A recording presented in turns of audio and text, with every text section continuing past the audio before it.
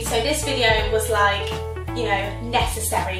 Um, I've kind of collected a few healthy recipes over the past few years that have helped me maintain a healthy lifestyle, so I thought I definitely need to share them with you. Some of them are already on my blog, so I'll link them below, um, but I just wanted you to see, you know, them being made and, you know, what it looks like, so you can always nail the recipe every time.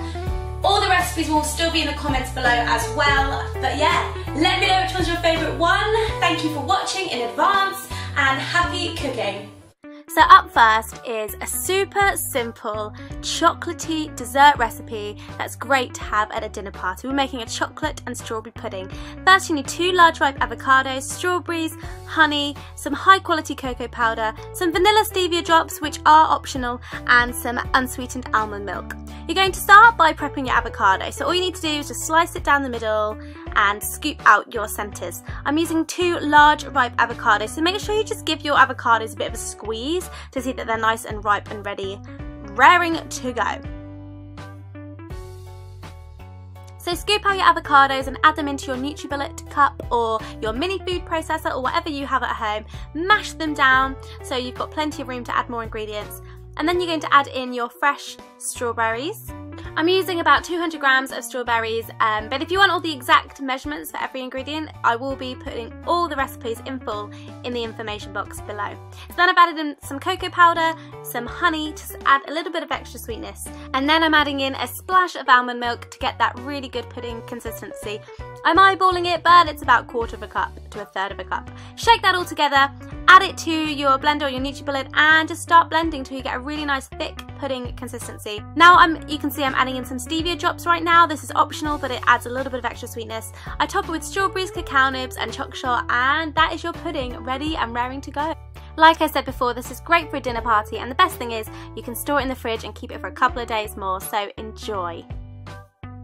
And now we're moving on to some healthy baking. I have made this banana bread countless of times. I've shared the recipe with you on my blog and you guys have loved it, but today I'm showing you a bit of a twist. So you're going to need two ripe bananas, two large eggs, coconut oil, some coconut flour, some Sukrin Gold, which is a brown sugar alternative great for baking, some porridge oats, some cinnamon, baking powder, and fresh blueberries. This cake is so simple to make, it's pretty much an all-in-one method, bar the blueberries which you'll leave until the end. But you're going to start by adding in some ripe banana into a large mixing bowl. Once you've added those, you're going to add in your two eggs. This recipe requires that we have oat flour, so I make that by simply blending up my NutriBullet. I'm adding in that to the bowl, along with the coconut flour, which is about half a cup. Then we're adding in a third of a cup of the Sukrin Gold, which is that brown sugar alternative. I'm adding in some melted coconut oil, some cinnamon, then you add in your almond milk, which you'll notice you'll need a lot in this recipe as coconut flour tends to absorb a lot of liquid, so you'll probably need to add a bit more later. Start beating this together with a wooden, wooden spoon before getting in there with the electric blenders and getting a nice thick and creamy cake mix ready for your tin. So this is the consistency you want, but if it looks a little bit dry, add in a splash more almond milk. And for the last step, stir in your fresh blueberries into the batter carefully with a wooden spoon. Then it's time to line your loaf tin with some greaseproof paper. Now I always make a bit of a mess of this, but I get it done. However, I would re totally recommend buying loaf tin liners, but I wanted to show you my attempt at making my own. It is quite simple to do. As you can see, once you pour that cake batter in, it's going to weigh the liner down anyway. And just make sure it's nice and spread evenly so you get a nice even bake.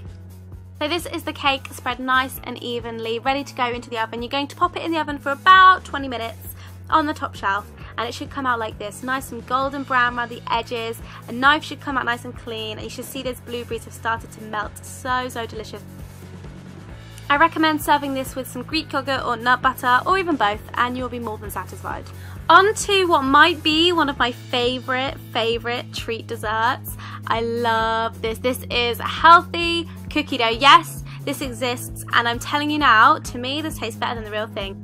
You'll need some almond flour, an egg, some squeezy honey, some Sukrin Gold again, baking powder, coconut oil, some unsweetened almond milk, vanilla stevia drops, which are always optional, and 70% dark chocolate chips.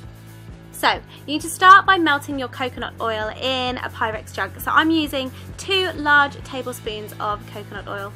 To melt the coconut oil, I'm popping it in a Pyrex jug and I microwave it for about 45 seconds. Then I'm adding in the runny honey and I'm just whisking them together as a nice wet ingredient to add into the cookie dough. So take your large mixing bowl and add in the almond flour, you're going to add in your baking powder and you're going to add in your Sukrin Gold as well and combine all of that together. So now it's time to start adding the wet ingredients to your dough. That's the honey and coconut oil mix. Then you're going to add in your egg I am using vanilla stevia to slightly sweeten and add that vanilla flavour, but you could use vanilla extract too. I'm then adding in the almond milk, which is going to get that doughy texture. So now's the fun part. Grab your wooden spoon and stir it all together to get a really nice doughy consistency. It's at this point that you stir in the dark chocolate chips and just, yeah, use a wooden spoon and make sure they're all nice and thoroughly combined. Pour the dough into your oven-proof dish. I'm using about, I think this is a 7 inch Le Creuset dish, but you could use a bigger one or like a brownie tin, that would work as well. I left quite a large clip of me pouring the dough into the dish, just purely for the fact that it just looks so good. And trust me, the raw dough on its own I think tastes really, really good. Um, so you're going to spread it evenly with a wooden spoon and make sure it's nice and smooth. And once that's done, you're going to pop the dough into the oven for about 12 to 15 minutes. Keep an eye on it. You want it to be nice and brown round the edges and then quite a little bit raw in the middle because I like this to be half cooked. If you wanted it cooked more, I would suggest putting it in the oven a little bit longer. This is great served warm, fresh out of the oven and I love putting it with like Oppo salted caramel ice cream or like Greek yogurt again. It's so, so, so tasty. And for our fourth and final recipe today, we're making one of the classics, a really nice apple and blackberry crumble. So you're going to need three large Bramley apples, some fresh blackberries, oats which will turn into oat flour like we did with the last recipe, Sukrin Gold again, this is a key feature of today's baking episode, cinnamon, coconut oil, almond milk. So you're going to start by peeling your Bramley apples, um, just make sure they're nice peeled, quartered and diced so you got them in nice small chunks ready to pop in a pan. Use a medium-sized pan and add in a bit of water. I use about half a cup of water. I like to add in cinnamon, but that's totally optional. And I'm adding in some more Sukrin Gold to sweeten the apples because these are just a little bit tart. Um, I used uh, three large apples, so I used about one spoonful of Sukrin Gold per apple. That seemed to work really, really well. So pop the lid on and leave it for about 8 to 10 minutes and you should have this nice stewed fruit where it's not 100% stewed. So now we're making the topping. So you need some oat flour. So we're going to do exactly the same process that we did before, grinding up the oats in the NutriBullet. Add in your Sukrin Gold to a large mixing bowl. We're adding in the coconut flour, um, which would be subbing the butter that you'd have in the traditional recipe. I've also added a, a bit of cinnamon there because that's my personal taste, but you might like something different. Now you'll start to get this kind of mixture and to sweeten it a little bit more and to get a better um, crumble topping, I add in a bit of honey as well and as long with some almond milk for some wet ingredients so the oats and everything starts to bind together a bit more. Um, I just used a wooden spoon for this, stirred it together and this got the perfect consistency I want. I want it to start getting a little bit lumpy. So the crumble topping's done, now it's time to assemble your crumble. So you're going to start by adding all the fruit. So I'm adding in the stewed apples first, followed by the fresh blackberries, which I'm going to stir in as well and combine them all. So they're nice and evenly spread throughout the crumble.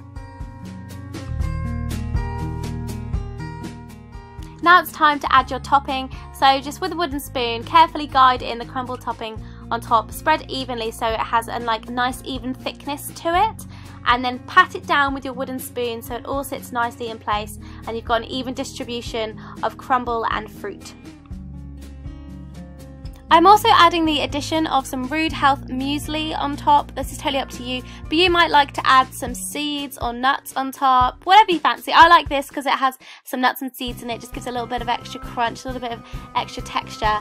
And then that's all ready to go into the oven. I like to pop it in about the top shelf at about 180 degrees for 20 minutes or so, but keep an eye on it. And voila, your crumble is ready. This Sunday favourite has been transformed into a recipe that everyone's still going to love, but it's going to be so much better for them. So if you did like any of these recipes and you want to make them at home, all the recipes are going to be in the info box for you. Thank you so much.